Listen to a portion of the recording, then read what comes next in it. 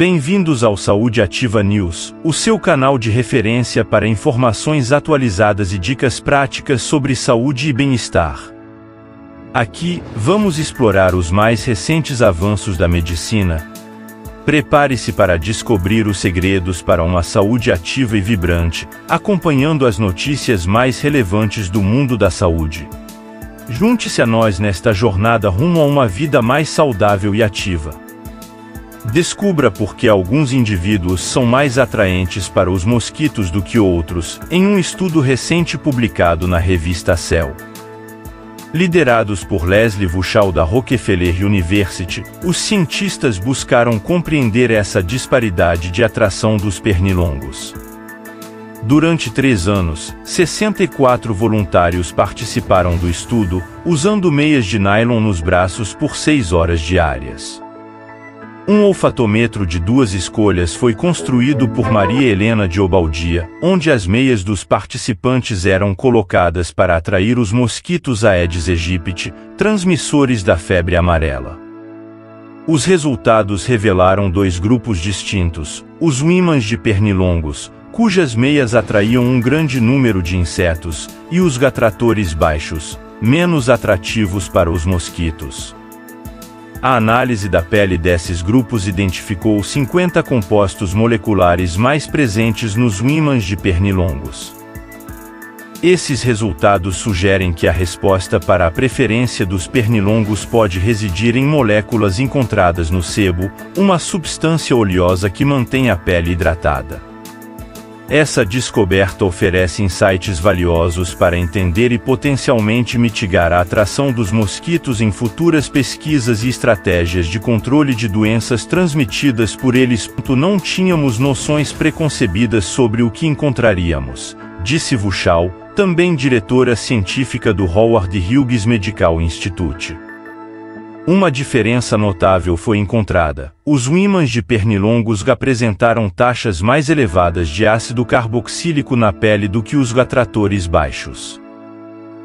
Esses ácidos, encontrados no sebo, formam uma barreira protetora e ajudam a manter a pele hidratada. Os ácidos carboxílicos, moléculas grandes, são decompostos por bactérias da pele, gerando o odor característico dos humanos, possivelmente atraindo os mosquitos. Um participante, chamado apenas de sujeito 33, destacou-se como altamente atrativo para os pernilongos, com suas meias sendo 100 vezes mais atrativas do que as dos outros participantes menos atrativos. A atração dos mosquitos parecia ser constante ao longo do tempo para os participantes monitorados durante três anos. O sujeito 33, por exemplo, permaneceu consistentemente atrativo para os pernilongos. Isso pode ser preocupante para aqueles que são alvos frequentes desses insetos.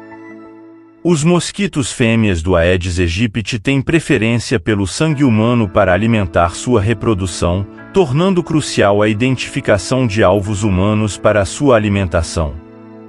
Além dos ácidos carboxílicos, o calor corporal e o dióxido de carbono exalados também atraem os pernilongos para os humanos. Os cientistas ainda não compreendem totalmente por que os ácidos carboxílicos exercem tamanha atração sobre os pernilongos. O próximo passo pode ser investigar os efeitos da redução desses ácidos na pele, embora seja crucial não comprometer a saúde cutânea ao fazê-lo. Produtos dermatológicos podem desempenhar um papel crucial na redução dos níveis de ácido carboxílico e, consequentemente, minimizar as picadas de pernilongos. Cada picada desses pernilongos coloca as pessoas em perigo para a saúde pública, alertou Vuchal, destacando que os mosquitos Aedes aegypti são transmissores de doenças como dengue, febre amarela e zika. Os ímãs de pernilongos estão mais suscetíveis a essas doenças devido à sua maior atratividade para os insetos. Matthew de Genaro, professor associado da Florida International University, especializado em neurogenética de mosquitos, elogiou os resultados do estudo. Ele ressaltou a importância dos ácidos carboxílicos na atração dos pernilongos e levantou questões sobre como esses compostos são percebidos pelos mosquitos. A capacidade dos insetos em detectar esses ácidos é notável, indicando uma evolução adaptativa para caçar humanos. De Genaro destacou a estabilidade da atratividade de certos indivíduos para os pernilongos como um aspecto fascinante da pesquisa. Embora o estudo não tenha abordado o papel do microbioma da pele, essa preferência estável pode sugerir sua importância. Esses achados evidenciam a complexidade da interação entre mosquitos e seres humanos, destacando a necessidade contínua de pesquisa nessa área. Mais pesquisas devem explorar o microbioma que vive na pele humana para Digenaro enfatizou a importância de entender por que os pernilongos são atraídos por certos compostos, visando desenvolver melhores produtos para reduzir as picadas de mosquitos e a propagação de doenças. Ele expressou a esperança de que esse conhecimento possa levar ao desenvolvimento de novos repelentes, capazes de interferir na detecção dos produtos químicos pelos mosquitos. Essa abordagem promissora poderia resultar em repelentes mais eficazes, contribuindo para a proteção contra as picadas de mosquitos e para a prevenção de doenças transmitidas por eles.